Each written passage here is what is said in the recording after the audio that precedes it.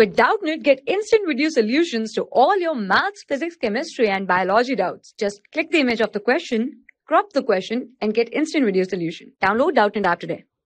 Hello everyone, in this question is given that if vectors A and B are mutually perpendicular, okay, means angle between A and B will be 90 degree, okay.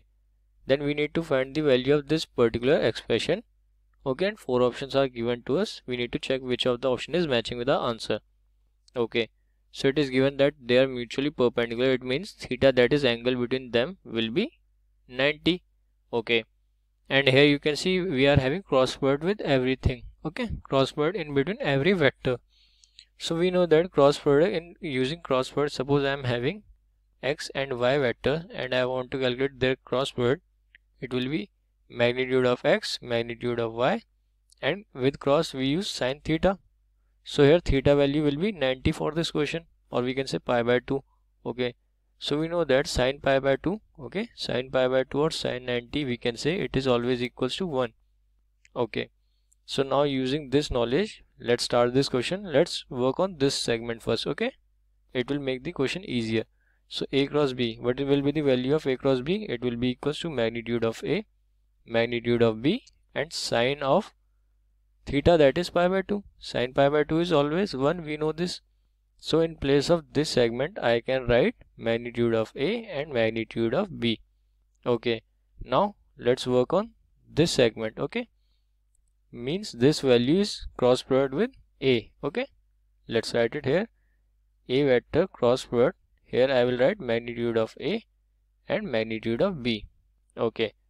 So it will be equals to here we will write first vector that is a magnitude of first vector multiply with magnitude of second vector okay consider this whole as one vector okay so we will write here magnitude of a magnitude of b and sine theta. Theta is 90 because here it is given that they all are mutually perpendicular. Okay. So again sine 90 value will be 1. So it will be equals to what? It will be square of magnitude of A and magnitude of B vector. Okay. Now if I'll cross product this again with this A, what I will get? Look here, angle again will be 90 here. Okay. Similarly here again it will be 90.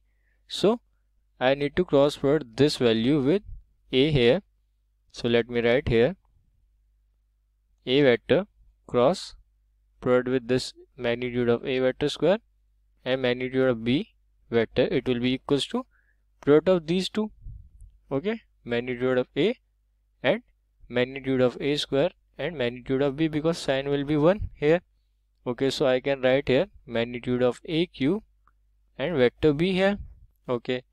Now again now I have to cross product this also with a okay? Again this sine will be 1 so basically what we need to do let me write here a cross cube of their magnitude a and b it will be equals to it will be equals to what? Here I will write vector magnitude of vector a 4 raised to power 4 and vector b here.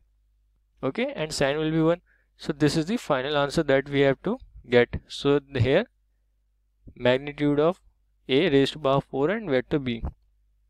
Okay so look here option 3 this is matching with the answer. So option 3 is the correct answer.